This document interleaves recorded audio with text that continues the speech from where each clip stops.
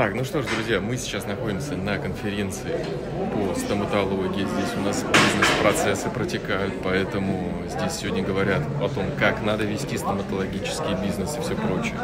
А, потому что все мы уже, как врачи, научились работать, мы делаем крутые а, работы, ничуть не хуже, чем западные коллеги. Но вот в плане управления, управления и ведения бизнеса у нас хромает, потому что у нас не учат в институте финансовой грамотности. А, и поэтому я пришел сегодня на конференцию, где об этом говорят, и буду слушать. Инновационные зубные пасты, зубные щетки. Здесь у нас Александр, бизнес, бизнес-партнер. О, привет, привет. Я все помню, помню, как все хорошо? Да, все отлично. Так, здесь у нас томографы, а, другие истории. Поэтому очень весело а, дают а, больше информации по функции. Когда пациент пришел функциональный, нет смысла ему продвигать эстетику, пока вы не решите вопросы функционального характера. Можно дать пациенту сделать репозиционирующую шину, сплин, походить, он адаптируется, начнет вам доверять, и уже тогда можно презентовать общий план лечения. То есть нужно создать некую ценность.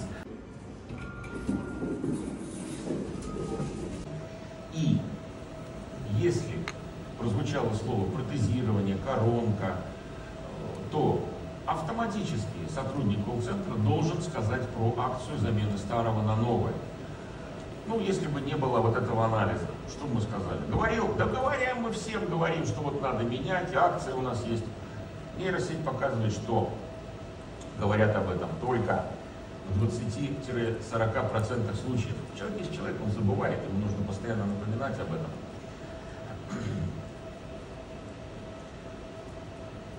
Недавно уволен э, начальник колл-центра с хорошими полномочиями, с хорошей зарплатой, только из-за того, что э, две недели подряд вот о этой акции не упоминали в 60% случаев.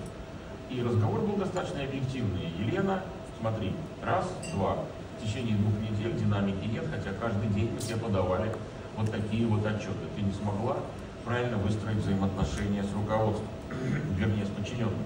Илья Борисович, а что было вчера на Конгрессе?